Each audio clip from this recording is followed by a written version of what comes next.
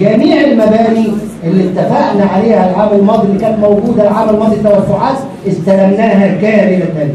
ليه؟ لأني بدخل المقاول وبقول له الأسبوع ده عليك إيه؟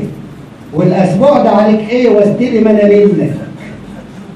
ولسه النهارده لاغي عقد مقاول وجايب مقاول يشتغل على حسابه عشان يكمل الشغل على حسابه ولك مشيته.